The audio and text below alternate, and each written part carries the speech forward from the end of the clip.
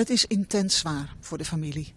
Um, Tinne heeft het vandaag heel goed verwoord. Um, maar ze heeft dus eh, met name in de periode tussen het ontvangen van het verweerschrift en nu toch in een, in een rollercoaster geleefd. Ze heeft het in een eerder interview ook gezegd van het leek wel koehandel. Het was nooit genoeg. Maar dus het gebrek aan informatie. Wat gebeurt er nou? Wat, wat, wat, staat, mijn, wat staat de donor te wachten? Want de donor die wordt vergeten en die is juist de belangrijke persoon hierin.